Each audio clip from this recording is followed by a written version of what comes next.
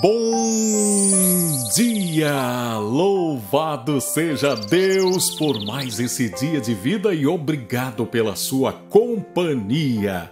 Eu quero fazer uma oração hoje para abrir portas diante de você, para abrir caminhos e para trazer livramento para a sua vida especialmente se você está sendo alvo de algum tipo de perseguição, de humilhação, de situações adversas no seu trabalho, ou se você na sua família mesmo percebe que existe uma força contrária, existe alguém tentando barrar você de alguma forma, impedir você de alcançar os seus ideais, os seus objetivos. Se você sente alguma coisa que está te prendendo, que está te amarrando, eu quero fazer uma oração também de libertação para que você possa se soltar de tudo aquilo que te prende, de tudo aquilo que impede você de avançar e conquistar as coisas para as quais o Senhor te chamou para conquistar.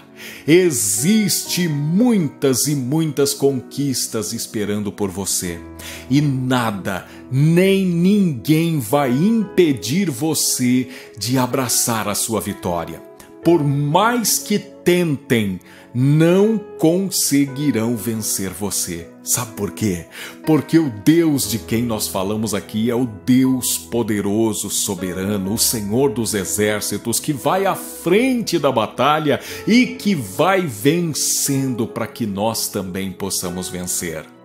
Por favor, se você puder, escreva o seu nome nos comentários. Escreva o seu nome nos comentários, porque daí essa oração será direcionada para você. E eu quero fazer já esta oração. Querido Deus, Pai maravilhoso, santo e poderoso, diante de ti agora eu apresento a vida de cada um dos meus irmãos e irmãs. Cada uma dessas pessoas tem planos, tem sonhos, Cada uma dessas pessoas espera alcançar uma graça, uma dádiva, uma bênção do Senhor, ó Pai. Por isso eu quero pedir que nesse dia o Senhor possa renovar a sua força, a sua esperança, a sua expectativa diante da vida. Que o Senhor possa acrescentar fé ao coração de cada pessoa que me ouve agora. E eu quero, ó Pai, em nome de Jesus Cristo, pedir que o Senhor proteja cada uma dessas pessoas, que o Senhor traga livramento para cada uma delas. E acima de tudo, ó Pai, que tu possas também trazer libertação. Liberte essas pessoas de tudo aquilo que as aprisiona. Liberte-as de todas as amarras. Senhor, há pessoas aqui que já fez uma reflexão acerca da sua vida e percebeu que existe uma força contrária. Percebeu que parece que ela não consegue avançar, não consegue sair do lugar e tudo que ela tenta parece que não dá certo. Então, Senhor, eu quero pedir em nome de Jesus Cristo que tu possas agora soltar essas amarras, quebrar todos os grilhões tudo aquilo que aprisiona essa pessoa e que ela possa ter liberdade para crescer, para avançar, para conquistar. Senhor, liberta essa pessoa de todo o mal, de toda situação que aprisiona, que ela possa agora estar livre, livre para te adorar, livre para vencer, livre para conquistar livre para ouvir a palavra do Senhor, compreender e aplicar no seu dia a dia. Senhor, nesse momento eu peço, abra nossa mente, o nosso coração, o nosso entendimento, para que a tua palavra possa penetrar em nós e que nós possamos aplicá-la de forma que venhamos colher os frutos da obediência Assim eu oro e peço em nome de Jesus Cristo. Amém. Louvado seja o nome santo do nosso Senhor Jesus Cristo. Muito prazer, eu sou Ney Santos e é com alegria que eu trago até você agora, num oferecimento das livrarias Família Cristã, a palavra de hoje Abra comigo a sua Bíblia no livro do profeta Jeremias, capítulo 31, versículo 34. Lá está escrito assim: Ninguém mais ensinará ao seu próximo, nem ao seu irmão, dizendo: Conheça ao Senhor, porque todos eles me conhecerão, desde o menor até o maior diz o Senhor, porque eu lhes perdoarei a maldade e não me lembrarei mais dos seus pecados.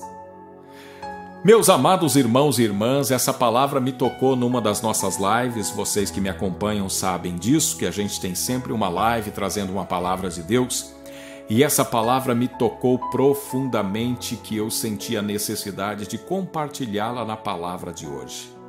Essa palavra do profeta Jeremias é uma palavra forte. É uma palavra que, se você observar atentamente, essa palavra pode mudar o curso da sua vida. Porque o que eu tenho encontrado de pessoas que estão com uma vida atrofiada, amarrada, uma vida completamente apática. Essa talvez seja a melhor expressão. Sabe aquela vida apática que a pessoa fica só contando os dias? Deixando a vida o levar.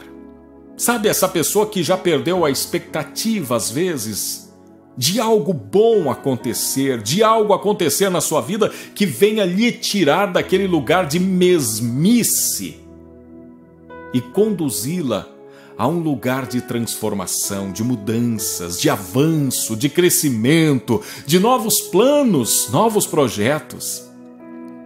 Muitas são as pessoas que eu tenho encontrado por aí que estão com a sua vida completamente apática. Muitos eu poderia dizer que estão, parece que estacionados no tempo.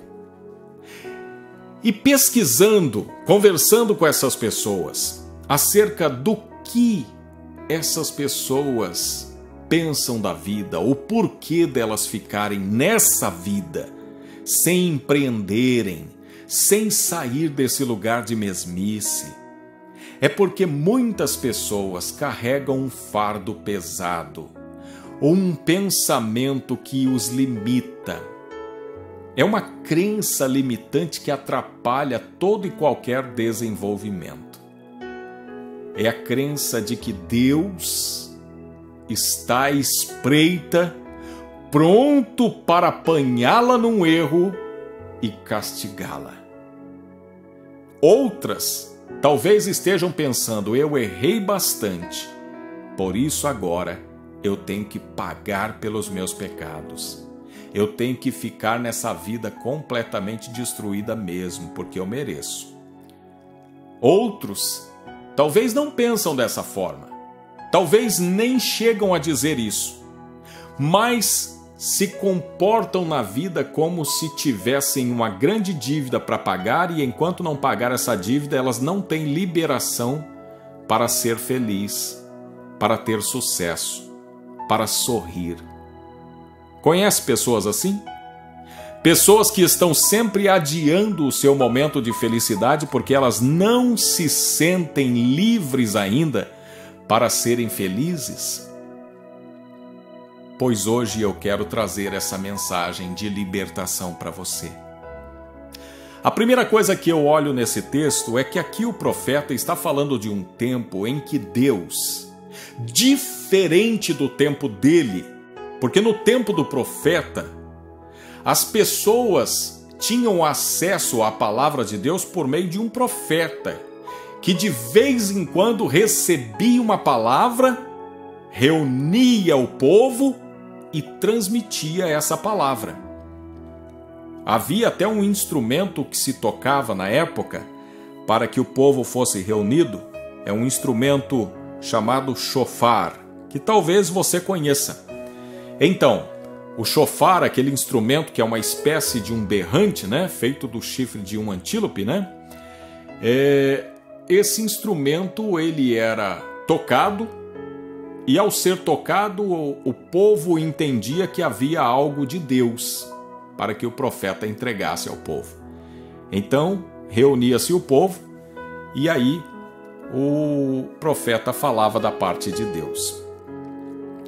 Quando não era o profeta a ensinar as pessoas, eram os rabinos, os mestres de Israel. Estes homens, muitos deles conhecidos como fariseus, doutores da lei, eles aprendiam da lei e transmitiam às pessoas, conforme a sua compreensão. Mas aqui Deus vai falar de algo que é extraordinário. Deus vai dizer a esse povo que vai chegar um tempo em que eles não vão aprender mais por meio de profetas, ou de escribas, de fariseus, de doutores da lei, porque todos eles me conhecerão, desde o menor até o maior, diz o Senhor. Que tempo foi esse, hein? Tente pensar aí, que tempo foi esse? O tempo em que as pessoas mais simples, mais humildes, até mesmo aqueles excluídos da sociedade, ladrões, prostitutas, publicanos, pensa nessas pessoas aprendendo de alguém. É isso mesmo. Se você pensou que foi o tempo de Jesus, você acertou.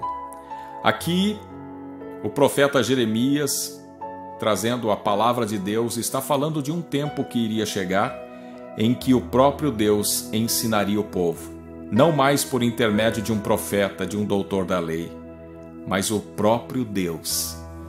O Deus que se fez carne e habitou entre nós, e vimos a sua glória. Esse Deus, na pessoa do nosso Senhor Jesus Cristo, disse um dia: Tomem sobre vocês o meu jugo e aprendam de mim, pois sou manso e humilde de coração. E vocês encontrarão descanso para as suas almas. O profeta Jeremias falou de um tempo em que Deus ensinaria o seu próprio povo. E esse Deus se manifestou a nós na pessoa de Jesus. E mais do que isso, esse Jesus, que depois foi morto, crucificado e ressuscitou, esse Jesus voltou para junto do Pai e pediu que o Pai enviasse sobre nós, sobre a humanidade, o seu Espírito Santo. E aí, já não era mais pela boca de Jesus que as pessoas iriam aprender, mas por meio do Espírito Santo, conforme o próprio Jesus disse: quando ele vier, vos ensinará todas as coisas. Então, chegou o tempo. Eu e você hoje somos privilegiados. Por quê? Porque o povo da época do profeta Jeremias tinha um acesso a Deus muito restrito eles ouviam Deus falar pela boca de um profeta, que muitas vezes passava anos sem comparecer numa aldeia, num, num vilarejo. E aquelas pessoas ficavam esperando esse tempo para então Deus falar com elas. Mas hoje nós temos o Espírito Santo de Deus que nos foi derramado. E por meio do Espírito Santo nós podemos aprender. A segunda coisa que eu preciso que você preste atenção nesse texto é que o acesso a esse conhecimento não está restrito aos grandes estudiosos ou aqueles com grande capacidade de santificação, mas a todos, do menor ao maior, a todos que desejam conhecê-lo e a razão pela qual nós temos esse acesso irrestrito é porque o nosso Senhor Jesus Cristo, o Cordeiro Santo de Deus, ele se ofereceu em sacrifício. O sacrifício de Cristo na cruz serviu para cobrir todos os pecados da humanidade. E quando ele entregou seu espírito, diz a palavra que o véu do templo que separava o homem de Deus se partiu de alto a baixo, de forma que agora nós estávamos diante de Deus, face a face, por meio de Jesus Cristo. Por meio de Jesus, nós obtivemos o perdão pelos nossos pecados. E ele nos abriu um novo e vivo caminho direto para o trono da graça de Deus. Agora, nós temos esse acesso direto ao nosso Deus. Mas por que é que muitas pessoas ainda não conseguem ouvir a Deus, não conseguem esse acesso? Não será por conta de que muitos ainda não conhecem essa verdade? Ah, mas eu sei de pessoas que conhecem essa verdade e mesmo assim não têm essa intimidade. Será que não é porque essas pessoas elas ainda não aprenderam a se perdoar? Porque Deus perdoou o meu pecado. Mas para que eu possa exercer de forma maiúscula a minha caminhada com Deus, a minha vida cristã, eu também preciso me perdoar. Mas há pessoas que parece que não conseguem se perdoar. Enquanto o próprio Deus, o maior de todos aqueles que foi ofendido pelo nosso pecado, ele diz: Porque eu lhes perdoarei a maldade e não mais me lembrarei dos seus pecados. Ei, deixa eu te dizer uma coisa: o seu pecado foi perdoado e Deus não se lembra mais dele. Liberte-se dessa culpa, perdoe-se para que você possa seguir a vida e viver o propósito de Deus. Liberte-se dessa culpa, sabendo que Cristo morreu na cruz para perdoar os seus pecados.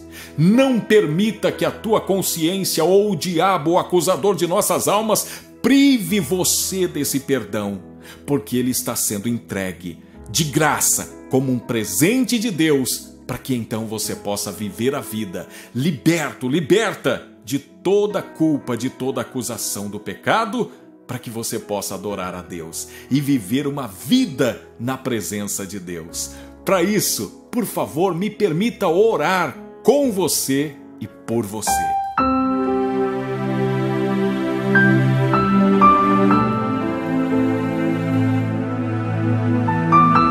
Querido Deus, Pai maravilhoso, santo, poderoso, diante de Ti agora eu apresento essas vidas. Eu apresento cada uma dessas pessoas que ouve agora comigo esta oração e peço, Senhor, perdoa os seus pecados. Retira toda culpa, toda acusação da mente e do coração de cada uma delas.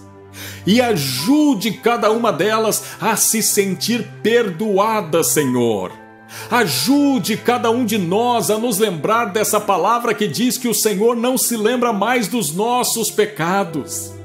Essa palavra que vem para dizer que o Senhor de fato nos perdoou, nos retirou toda a culpa por meio de Jesus Cristo. E agora, Senhor, ajuda-nos a nos perdoar, que nós possamos liberar perdão a nós mesmos nos livrar de todo fardo pesado, de toda culpa, de todo ressentimento, todo remorso, e que nós possamos agora absorver o teu perdão, desfrutar desse perdão e viver uma vida, ó Pai, de forma a glorificar e exaltar o teu nome. Senhor, eu também peço nessa oração a cura para todos os enfermos para todas as pessoas que estão com dores físicas ou pessoas que estão com traumas, com feridas na alma, pessoas que estão sofrendo na vida emocional. Senhor, eu te peço, venha sarar essas pessoas, cura cada uma delas, cura também os relacionamentos. Que a tua presença traga restauração aos casamentos reconciliação aos casais. Senhor, abre portas para aqueles que estão necessitados de uma oportunidade de emprego. Retira de nós todo fardo pesado. Dá-nos o alívio que Cristo nos ofereceu e conduza-nos, ó Pai, pelos teus caminhos. Esta é a minha oração, em nome de Jesus Cristo. Amém. Por favor, lembre-se de se inscrever no nosso canal, isso é muito importante. Clica no botão vermelho inscreva-se, ativa o sininho para receber as notificações, deixa o seu like, deixa aí o seu gostei, mande essa palavra para mais pessoas. E se você tiver tempo para ver mais um vídeo, clica nesse vídeo que está aparecendo aqui, clica nele. Que Deus te abençoe. Fique com Deus, estou indo com Ele também.